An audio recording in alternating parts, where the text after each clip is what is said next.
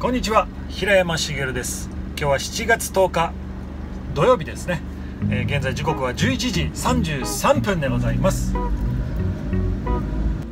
大丈夫ですからね。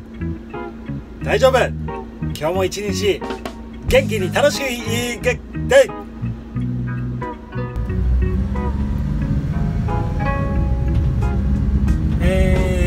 とですねあのー、今仕事配送先から会社に向かっているところなんですけれどもふとですねなんかあのー、UFO って見たことないよなって思いましてカメラが向いてる方にパッと目をやったらですねピカーッと光る飛行物体がおりまして一瞬で消えてしまったんですけど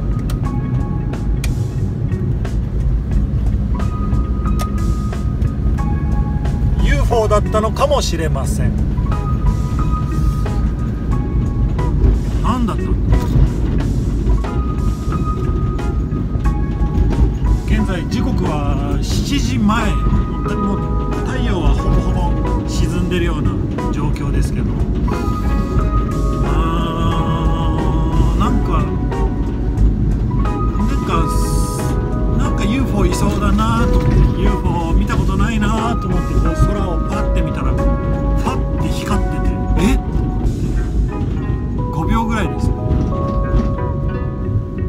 大きい動きをしてたとかそういうわけではないんですけどそのまま雲の中に消えていったような。なんだろう飛行機ではないんですよ。何でもいっか。何でもいっか。大丈夫だね。何でもいい。飛行機でもいい。UFO でもいい。何でもいい。大丈夫。また明日お会いしましょう。平山茂でした。